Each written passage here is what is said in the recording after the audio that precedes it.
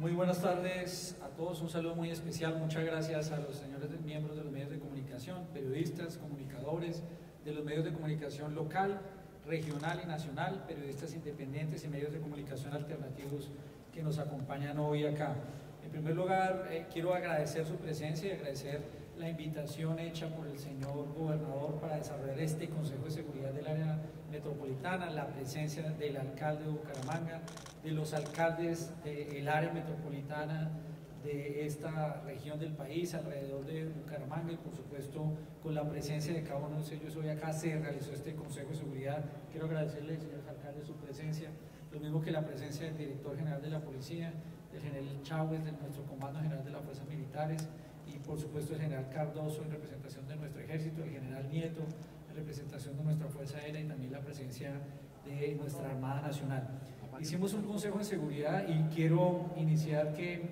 parte importante de la motivación de estar hoy acá también es rendir un tributo a Nicole Valentina Rodríguez, eh, una joven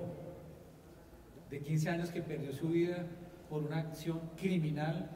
de uno de estos criminales que muchas veces en su actuar eh, afecta la vida y la integridad y genera una gran conmoción y solidaridad. Toda la solidaridad con su familia,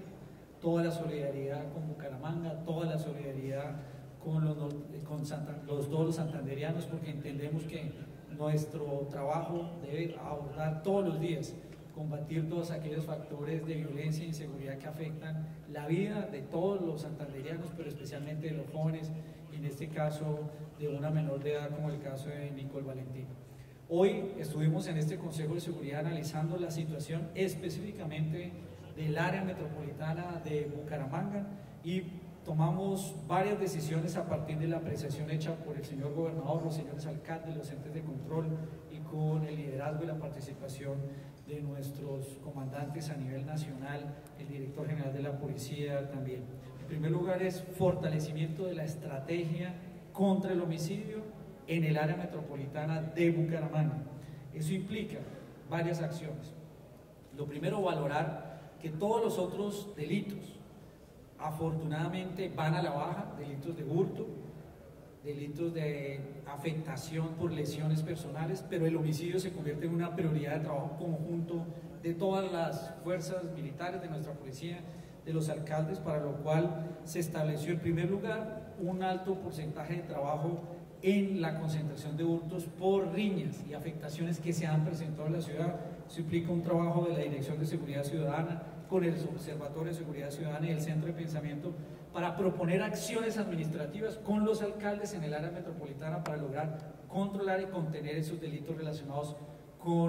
acciones de riña y lesiones violentas entre los ciudadanos por hechos de intolerancia.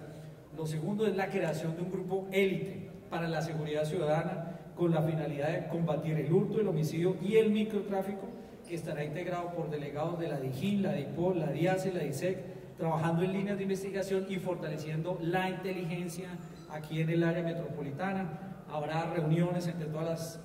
entidades distritales en el área metropolitana eh, con el fin de combatir esas amenazas y sobre todo revertir esa tendencia que hemos comenzado a evidenciar aquí en el caso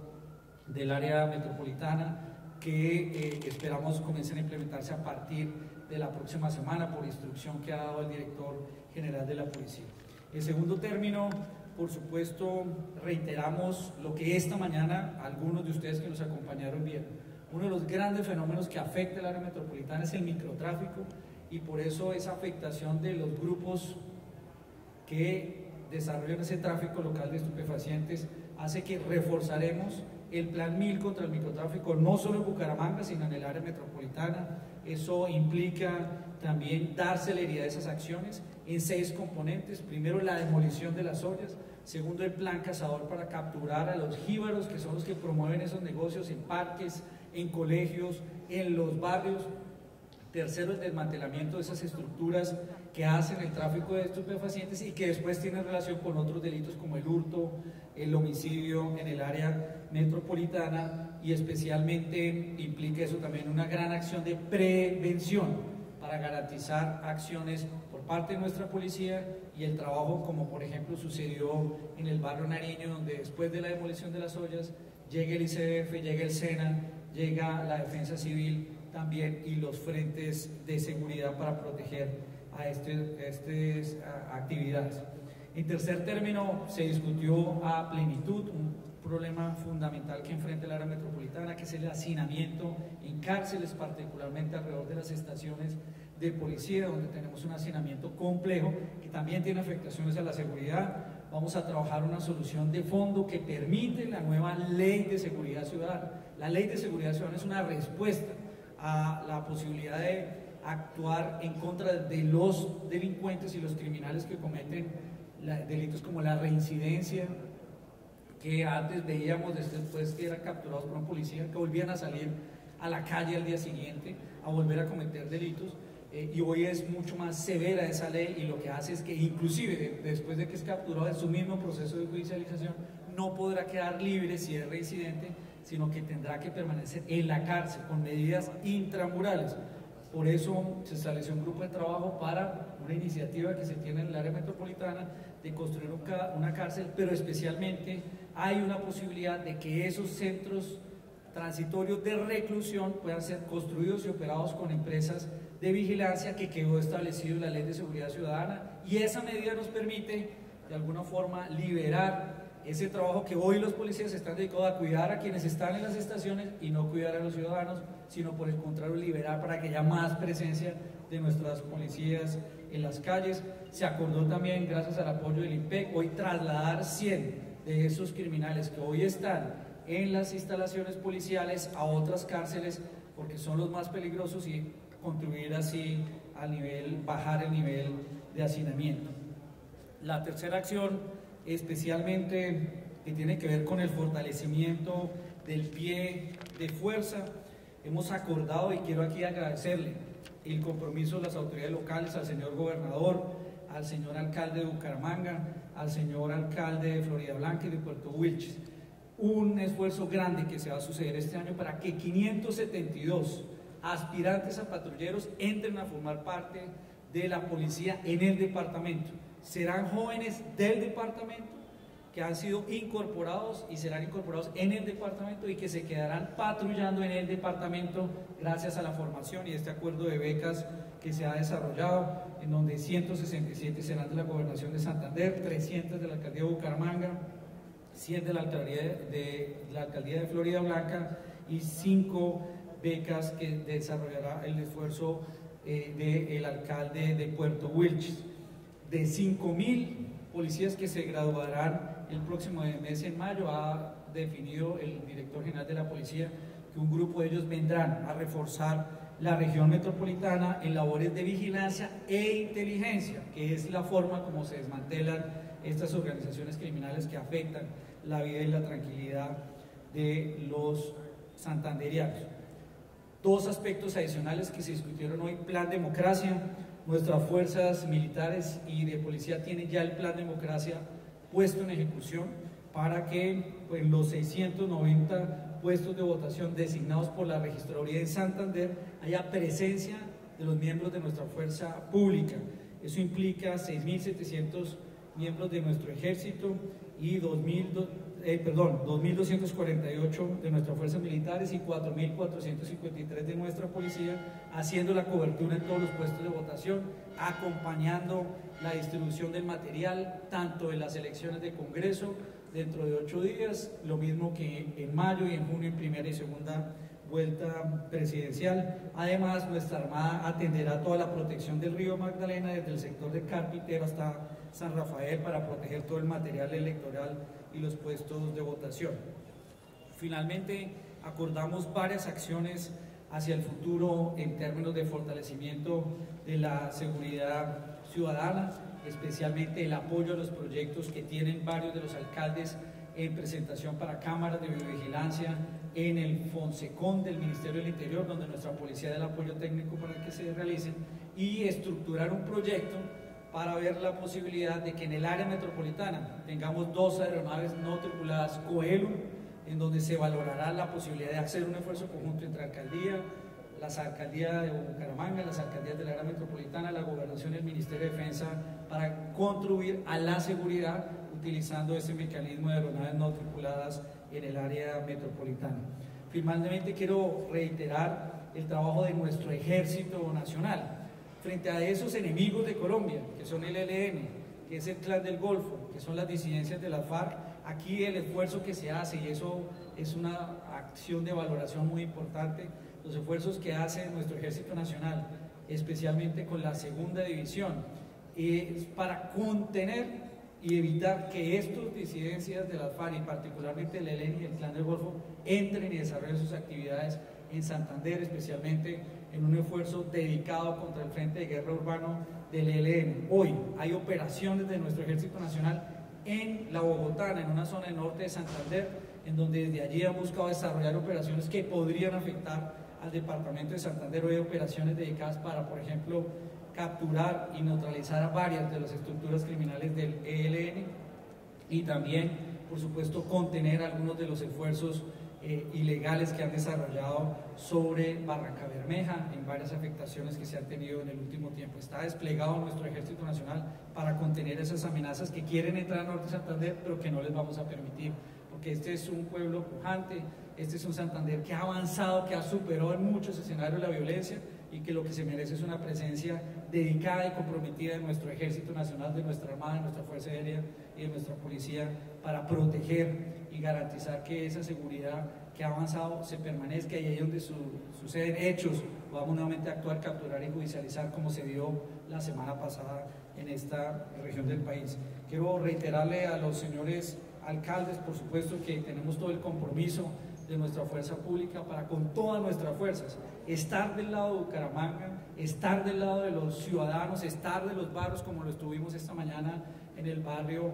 buscando dar protección a todas las comunas, al barrio Nariño y a todas las acciones que se vienen desarrollando en el área metropolitana y que nos hemos comprometido el día de hoy. Con todas nuestras fuerzas estaremos acá siempre en la defensa y en la seguridad y en la libertad de todos los santanderianos. Muchas gracias.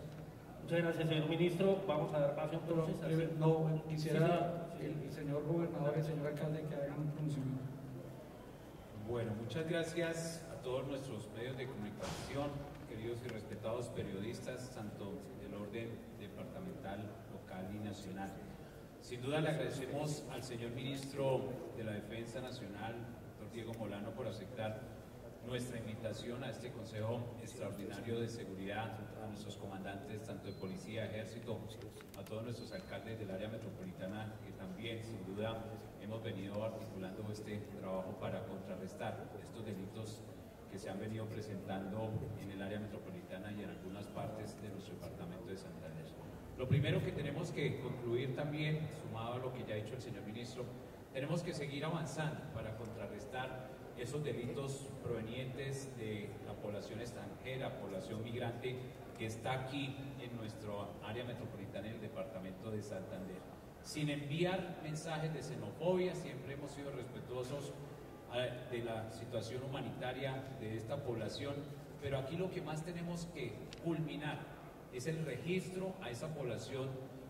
migratoria, población venezolana que está en el departamento de Santander, para poder lograr quien reincida, quien cometa delitos, sean también judicializados aquí por nuestra justicia colombiana y que realmente, así como el caso de nuestra querida Nicole, que gracias a la acción oportuna de nuestra Policía Nacional, de nuestra Fuerza Pública, se pudo capturar a este delincuente, también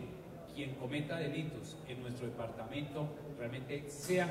condenados o que paguen por nuestra justicia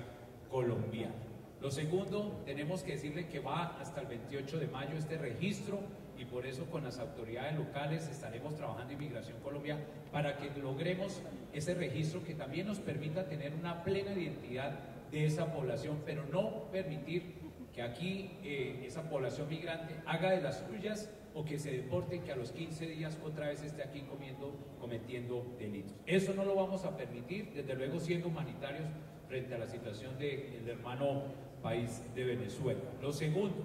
tenemos que seguir trabajando para contrarrestar los delitos que hoy se están cometiendo en el homicidio en el tema de intolerancia. Vamos a seguir trabajando con las hogares, con nuestros comerciantes, para que realmente toda esa política de seguridad realmente y, el buen actuar de los mandatarios podamos lograr reducir esos grados de intolerancia que están llevando también al, al delito, al homicidio que desafortunadamente se ha venido acrecentando, pero estamos trabajando precisamente con todas esas acciones que realmente se tienen. Lo tercero, hacemos un llamado, y eso es una inquietud, que nosotros tenemos que liberar nuestras estaciones de policía con las personas que están privadas de la libertad sindicadas. Hay que descongestionar las estaciones de policía porque tenemos a cientos de policías cuidando a estas personas privadas de la libertad que están sindicadas y condenadas. Hay que liberar las estaciones de policía en el área metropolitana y en el departamento de Santander para poder tener mayor capacidad de respuesta y que nuestra fuerza pública realmente se pueda dedicar a cuidarnos, a protegernos y a todas las acciones de seguridad que debemos brindarle a la ciudadanía en el departamento de Santander. Hoy hago un llamado. El IMPEC realmente tiene que realmente cumplir una razón fundamental o primordial de cuidar y proteger a los presos, a los privados de la libertad, a los condenados. De lo contrario, hacemos esa invitación también, hacemos un llamado de que el IMPEC se privatice o que se entregue a particulares empresas de vigilancia, porque realmente se ha demostrado que no se ha solucionado el, el problema de los presos aquí en nuestro país y desde luego en nuestro departamento de Santander. Y por último, lo que más queremos es también que se trabaje el fortalecimiento a nuestra fuerza pública,